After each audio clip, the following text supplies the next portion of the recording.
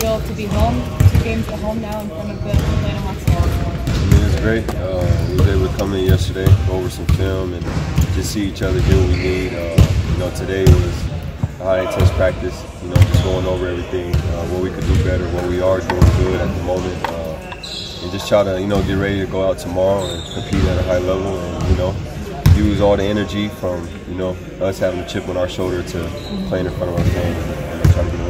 What was, I guess, one or two of the biggest things that you've noticed from game one and game two where they kind of took advantage? Did you guys to make some adjustments on your game? I mean, like I said before, uh, you can't make too many mistakes on a you know a great team uh, that got you know, a bunch of chemistry, uh, well coached. Uh, you know, just everything that you would want in a, great team. Uh, you can't make too many mistakes. You got to capitalize off of them. Uh, you know, but obviously, just we can be better in everything.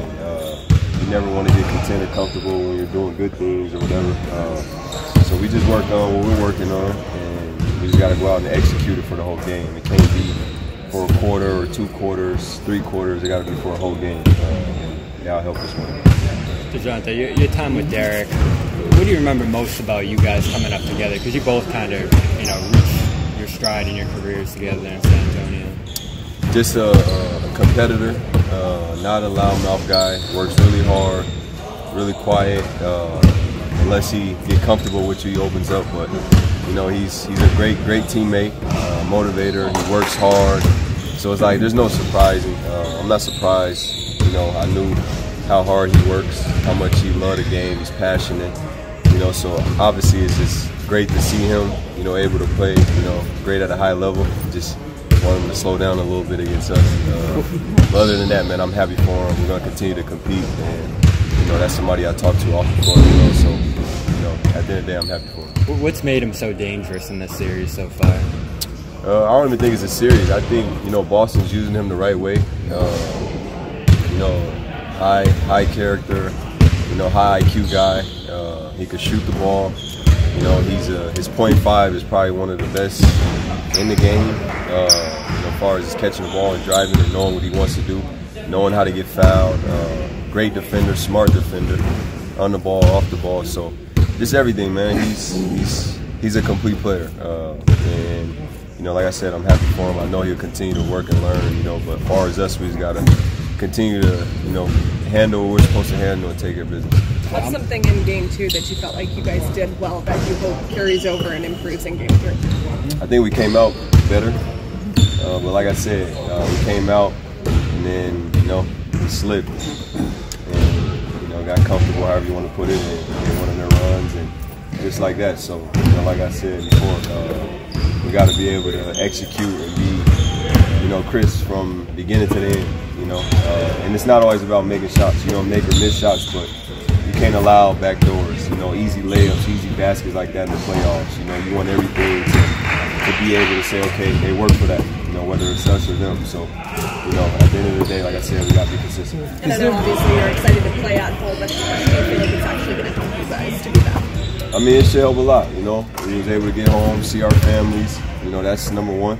Uh, and, you know, have some motivation, have a chip on your shoulder. You know, we down 2-0. It ain't the end of the world. It's not a game, it's a series. So we get to go out and play, you know, in front of our fans, and, and you know that should be a push for us. That should be motivation and chip on our shoulder. Is there value in just having the experience of being in playoff games, even if things don't go well at the end of the game? Yeah, I mean, because it's something you take, and it's something where you want to be every year. It's so hard to get to the playoffs uh, each and every year. So, you know, you, you, take the good, you take the bad, but I think it's more positive than anything.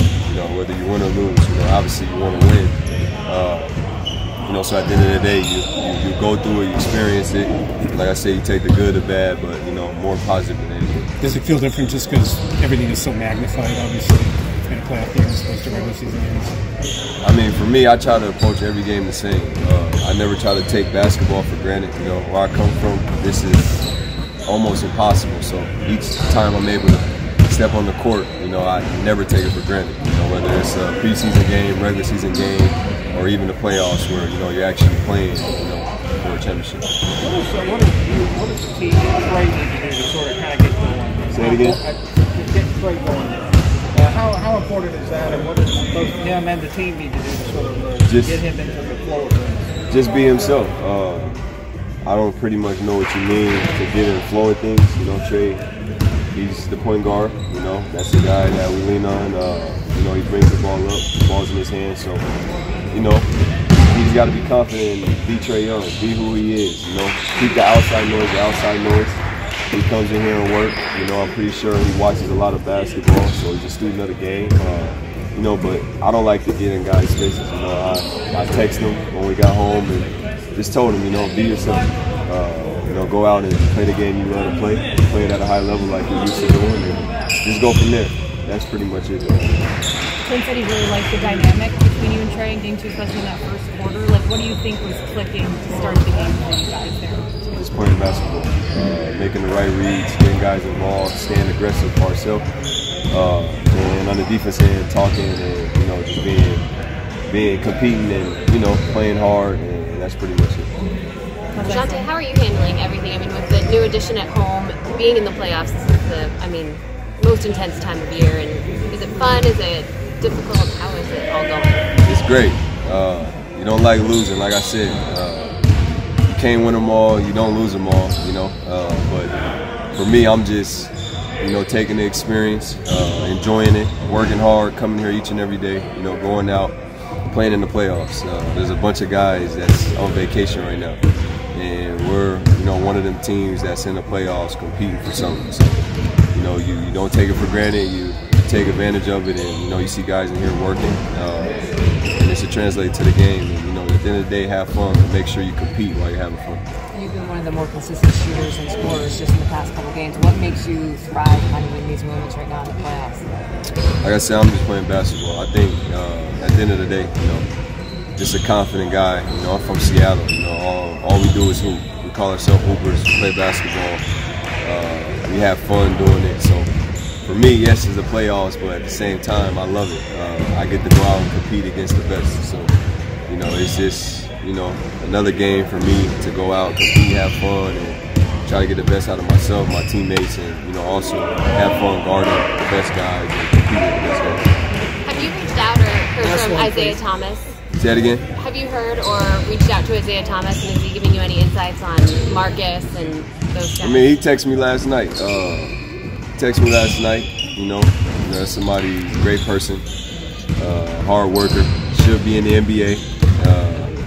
But he texted me last night. You know, with you know little pinpoints and you know just some you know some encouraged words to help me be better, help my team. Uh, you know, that's about it. But that's our relationship.